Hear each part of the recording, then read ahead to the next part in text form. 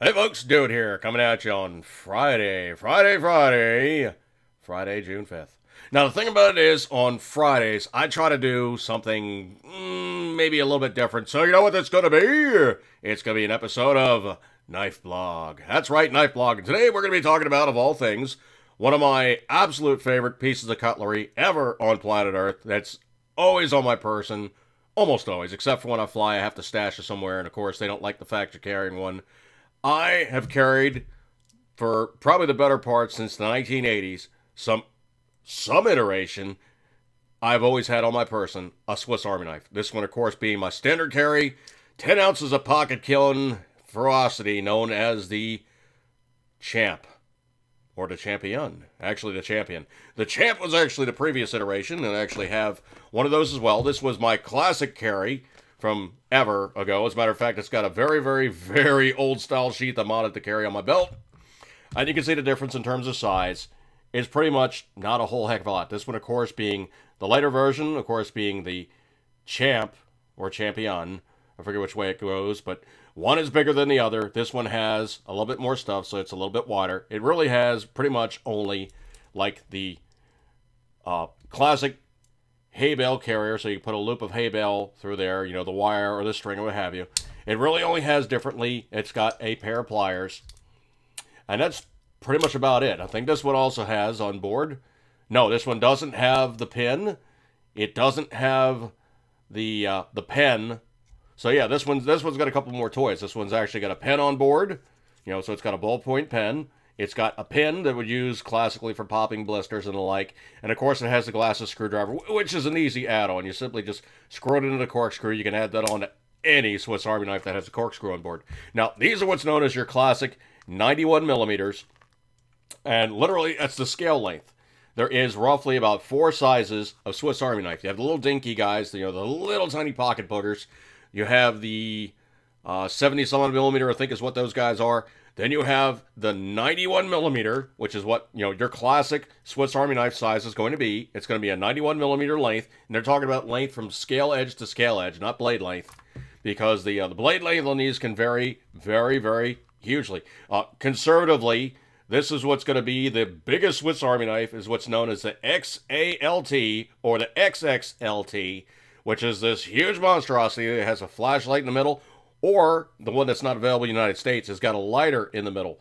It is ridiculous, okay? Now, to put it in perspective, this one is 10 ounces, okay? Both of these guys together is probably bordering on a pound. I'm thinking XL, XL, XLT is like something on order of about that, okay? You know, it's just, it's ridiculous. The damn thing's like six inches wide. You would never fit it into your pocket. It's pretty much something that just sits on your desk and you go, see?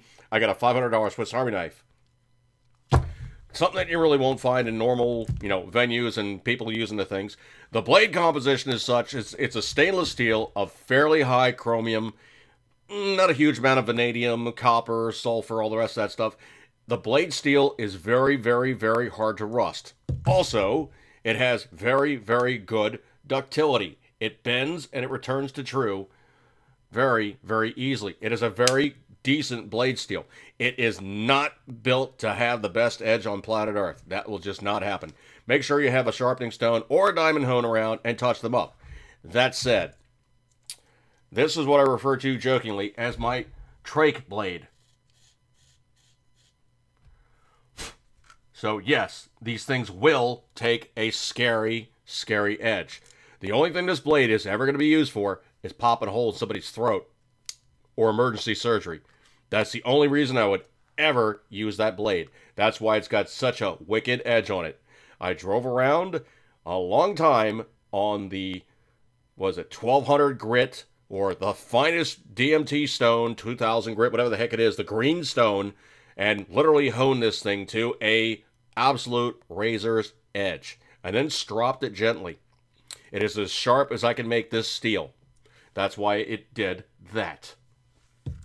Now, in terms of the actual composition of these guys, you will find a slip joint blade and you will find a locking variety. Now, the locking variety is almost always going to be found in the 109 or 111, can't talk today, 109 or 111 millimeter length blades. These are what's known as, this one, of course, is going to be known as the Fireman. This one, of course, has a locking lever on the right side of the blade that unlocks the blade, and it's basically just a block that slips underneath on the back side of the blade to keep it from doing anything but staying open. It's not the strongest lock, but it is an actual lock. This one is available as a one-hander, as the um, the fireman. Uh, this one, of course, is what's known as the previous iteration, which I think would also be a fireman, but they don't make this one any longer. Now, what it does have on board is it's got the big honking blade. So, what is that? 109 almost? 100, 100 it's about 109 millimeters. So, pretty good sized blade length. It does actually have what I jokingly refer to as the gut hook, but this is actually intended for people cutting seatbelts. So, you can slip it underneath. You're not going to cut the guy. Basically, can one hand the belt. Uh, does actually have a non locking screwdriver on this end and it has a non-locking classic combination can opener, screwdriver, you know, this one, of course, being the bottle opener. Does, of course, have a corkscrew, does, of course, have an awl. The rest of these, you know, filler plates are just filler plates. There's nothing else in there. Now, there is actually a version of this used by the military. The Dutch Army and the German Army have both fielded the absolutely very close to it this is, of course, a civilian version, which is kind of hard to source now, but this is what's known as the Trekker. The standard military is known as just the military. Military one-hander would basically have that little bubble top where you can basically stick your finger in and open up kind of like a, uh, a Spyderco or a lot of the other knives are doing now where they basically have like a raised top with a hole in it that you basically put your thumb in and you flick it open. Now this guy is different. The real reason why this one is different is because it has a liner lock. In there, this piece of steel is actually the liner. That's actually what holds this blade open and locks it.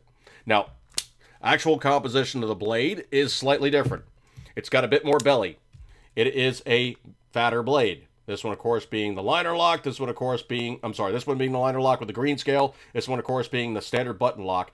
And you can see both these blades are a little different. The grinds are even different. You can see the grind on this one is kind of more it kind of comes more as a triangle on the top edge versus this one being just a standard flat grind. This one has more of a saber grind, I guess you would say. And actually looks like it has a bit of a hollow on board. This one's pretty much just a flat grind. Nothing crazy there. Of course, they're saying for the military, the military is asking for more belly. They want the knife to cut more aggressively, so that's why they made them with a concave. Now, the other cool thing about this one, I'm actually reaching for the button here because I've been carrying these things for so many years. I'm actually not used to this one being a liner lock. Now, the cool thing is, it does have a second position that locks it basically at half cock. Now, the cool part about it is, is this one also has a very easy to open, very Helfer stout. Listen for it. The screwdriver on this one is a lot more substantial. It is not anything trifling you can see in sheer mass and size that this one actually is quite a bit more substantial with the military versus a civilian. Reason being is this one also has a liner lock. So the actual screwdriver is locked open and not going anyplace. Now, in terms of this one, it also has that same device that you would use to get somebody clear of like a seatbelt or you could use it to cut webbing. If you're a parachutist and you're hung up in a tree, you could basically, you know, cut yourself loose. You know, you do have this to, you know, hack yourself free. You're not going to get hurt or anything. And, you know, obviously you have false edges and blunt edges so you don't cut on yourself. Always good stuff. This one does not have a lock, so you basically could one-hand it closed. Once you get free, get yourself out of the tree and all the rest of that good stuff like that there. It does obviously have the, you know, the classic toothpick and, uh, and, uh, you know, tweezers. I mean, that's, that's something the Swiss Army has always been very, very good about. Is toothpick and tweezers is on most of their knives. Uh, simply because they figure you're going to get a boo boo, you're going to have to pick something out. You know, you want to have these things around just in case. now, the other thing, too, it's also kind of really, really cool about the Swiss Army is they're everywhere. If you break it, you're not going to cry. You're going to replace these things very, very easily. Literally, you're going to be looking for the classic gray box. Literally, you're going to be looking for any knife store. Literally, you're going to be looking for any place on the internet, and you will probably find one. Uh, as a matter of fact, I actually do have one of these known as the Hunter. Now, what's the difference between the Hunter and the other one? Smaller hook. Instead of for seatbelt, it's actually for gutting. Now, the other thing, too, is you will find these with the saw blades. Now, the saw blades on these things are actually I have, you know, told this story many, many, many, many times. You can see the difference between the uh, uh, the 91 millimeter versus the 111 millimeter saws. They are it's basically about a centimeter's difference. Okay, I like the big one versus the small one. But any of these things, and you can ask anybody that's ever owned a Swiss Army knife. These things will buzz through a two by four like a coping saw from hell. Literally, they these things cut like crazy. Uh, this one's basically NIB. I don't really use it. It's one of my spare hunters. I really kind of truly do like the Trekkers. That that's just me, okay? I really like the Trekkers. Yes, it's a fatter knife, but you know what? It's a very substantial, good feeling knife. Um, in terms of actual fit and everything, this one is actually not a bad carry for me, but it, it kills the pockets, man. Every pair of pants I have, the pockets, the right side pocket is threadbare or it has a hole in it from this knife literally just ripping it asunder. This one is a little easier on your pockets. It holds most of the tools. This thing is available as the um, the Work Master or Work Work something XL. I mean, it, it's it's literally this knife about that wide. It is absolutely insane. So basically, this knife about that wide kind of loses some practicality because it's just, it's just getting too big. It's about the size of like a buck knife, and it's about as wide as you know the Swiss Champ or Champion. Either one of those two, you know, it, it's it's a lot of mass, and this thing's ten ounces. Okay, this one is closing in on about mm, eight or so. It's it's not light. The scales are actually pretty light because they're just nylon, but this thing with that amount of stuff on board it'd probably be a bit of about 12 ounces or so rodding around your pocket. It's just going to be too much meat, too much mass, and it's just going to get completely impractical. But if you guys are looking for some really cool stuff, mm, Swiss Army knives, man, I commend them to you. I love these things. I've carried these things forever. And I don't want to make this video too terribly long, but you know what? There's some stuff I'm passionate about. Swiss Army knives. I I am I am definitely a huge huge fan, man. I just I just love these things. So I'm going to break up with this one, folks. Eat good, keep the. As always, always, you know it, you love it. Swiss Army knife goodness. Mm, I, just, I can't have enough of them. I think I do have too many of them. Ask Mrs. Dude. Oh. well, now I'm going to break up on this one. Eat good, keep the. As always, always, you know it, you love it.